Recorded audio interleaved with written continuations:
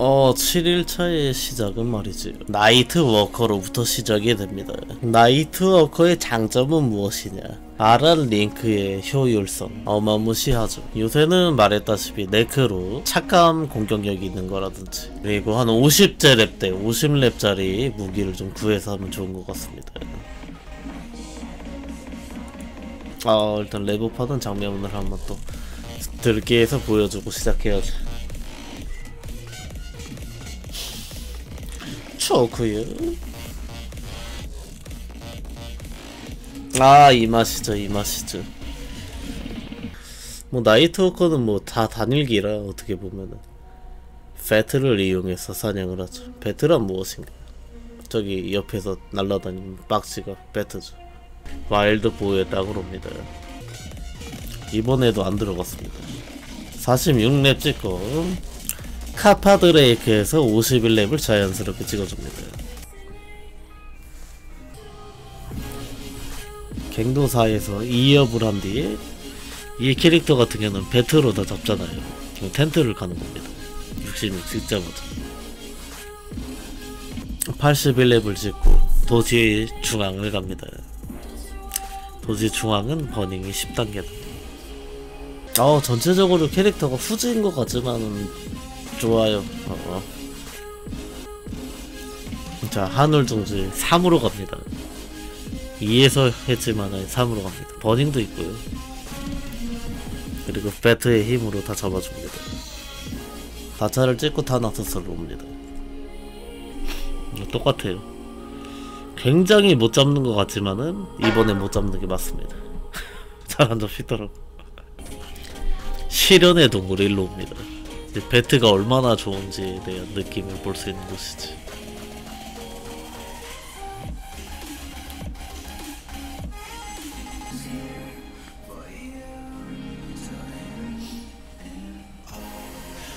요 정도면 이제 잘 잡는 거예요.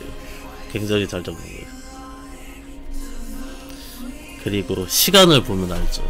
제가 보통 2시간에서 2시간 30분 정도 걸리거든요. 1시간 40분밖에 안 걸렸어. 이게 좋았다는 거의 핵심 키포인트긴 하죠. 그리고 유니온 이렇게 항상 해주고 있고요. 아 여기는 뭐 똑같아. 어, 레벨업 하는 게. 윈드브레이커가 이제 2차 스킬을 배우고 나서부터 좀 괜찮아져요. 보이면 이제 Y축도 좀 있죠. 공속도 나쁘지 않고. 다음 맵 갑니다. 3차 전직도 했고요. 여기서 윈드브레이커의 문제점이 좀 발생해. 3차 스킬이 서리바람의 군주라는 스킬인데 약간 제자리 사냥을 해야 되는 스킬인데 좀 애매해요. 아, 또 얘기할 거 있네. 버프가 6개가 있어요. 그래서 너무 좀 귀찮더라고, 어떻게 보면은. 이게 이제 스킬이에요. 보면은. 사냥이 굉장히 편할 것처럼 보이지만은, 그냥 스킬을 누르고 있어야 돼요. 그게 생각보다 빡세 누르고 있는 게. 별거 아닌 것 같아도. 백렙 찍을 따서 볼텍스라는 걸 배웠는데, 확실히 이제 90전하고 이제 100하고 느낌이 다르죠. 다행히 좀 데미지가 나오더라고. 이게 밀격 스킬이라 밀면서 사냥되는 게 좋더라고요.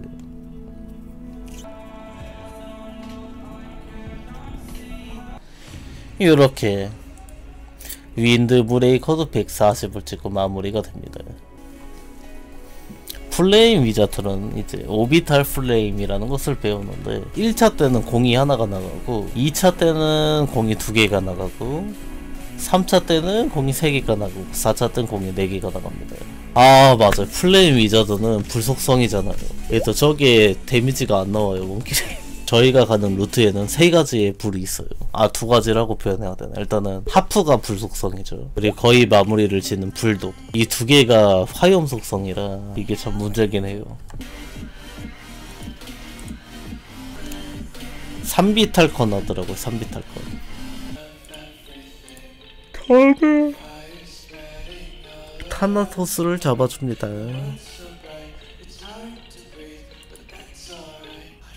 앞으로 밀면서 사냥을 하고요. 근데 뒤가 은근히 편한 것 같아, 뒤로서는.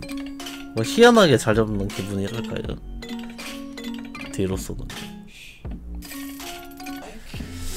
불독이 데미지가 시원찮게 들어가가지고 이게 좀 문제긴 하더라고 데미지가 너무 안 나와가지고 아 이게 나중에 이제 걱정되긴 한다. 지금 이게 풀링크 다 넣은 거거든요. 음 나중에 잘 될 수 있을지 모르겠네. 어 이렇게 해서 플위도 한 2시간 반 정도. 이렇게 마무리했고요. 그래서 현재 유니온은 3379 코인이 없어서 아직 등업을 한 번밖에 못했습니다. 아우 나이트 워커. 최하로 가자. 왜냐 1시간 40분인가? 그것밖에 안 걸렸어 윈드 브레이커는 이제 링크가 없었단 말이죠. 나이트 워커는 있었는데. 링크가 있었으면 하까지 갔을 것 같은데. 한 중 정도 느낌인 것 같아 수리도 중상 불독 때문에 좀 짜증났어. 어느덧 링크만 24개를 키웠네요. 이제 다음부터는 이제 풀링크가 되었기 때문에 나이트로드부터 200을 찍습니다. 좋아요와 구독으로 마무리하도록 하겠습니다. 감사합니다